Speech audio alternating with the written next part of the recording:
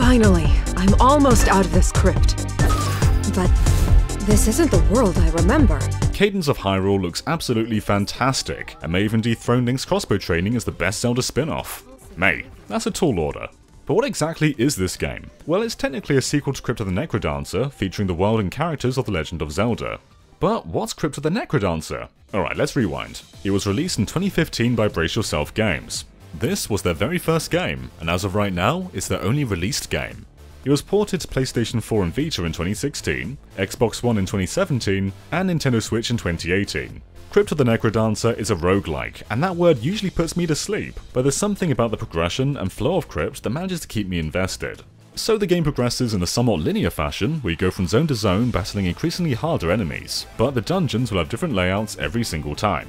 You start off with just a dagger, but you make your way through three floors picking up as many items as you can until you face down against a boss. There's an element of luck, as if you find a powerful weapon early on, you'll decimate your way through the dungeon. But almost every tool has an advantage over another, and there are limitations on exactly how many you can carry at a time. So that's all fairly standard for a roguelike, but what makes Crypt the Necrodancer special?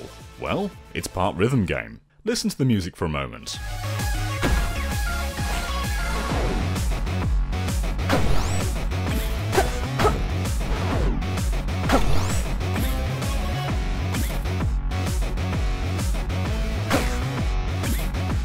Every beat is an opportunity to move. If you manage to maintain that beat while taking down enemies, the gold you collect multiplies. So as you're hopping around these crypts taking down gangs of monsters, you're going to want to do so while maintaining your rhythm. You'll just lose your multiplier if you slip up, but if you lose your rhythm while taking on a giant enemy, you might miss your window to strafe out of its way, and you don't want that. It's not an easy game, especially if you can't find a weapon to replace your puny dagger early on, but if you manage to pick up diamonds within the crypts, you can visit a shop before you jump back in to help yourself out. The game makes you feel like you're always progressing, and by having only 5 zones to complete, this isn't necessarily an endless game, as there is a definitive ending, but you can play it endlessly, not to mention all the different variant modes, co-op, and other characters to play around with. This is a bustling game under a simple structure and simple premise. So Cadence of Hyrule seems to open things up substantially. Crypt of the Necrodancer takes place entirely in a crypt, but in Cadence of Hyrule, it looks like we'll be exploring overworlds in a similar style to Four Swords Adventure. You can also now see your weapons in real time, which is something I really admire. The lack of visual feedback could sometimes be a bit of an issue in the original game. That said, elements of Crypt of the Necrodancer's world are still very much in Cadence of Hyrule. Notice how the chews bear a striking resemblance to the slimes. Blue ones will even hop from tile to tile, while the green ones stay stationary. And the shielded Stalfos works much like an armoured skeleton, where one hit knocks off their shield, and the next will defeat them. If we hit them from the side, they'll probably go down in one hit.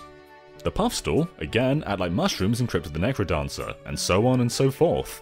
A few of these enemies seem new to Crypt of the Necrodancer, but there are a few that are clearly mimics of past versions. Though the merchant hasn't been replaced. This is the same guy from Crypt, and even seems to speak this time. And of course, he still sings along with the track. Listen to him sing along with Tal Tal Heights. This time, I have help.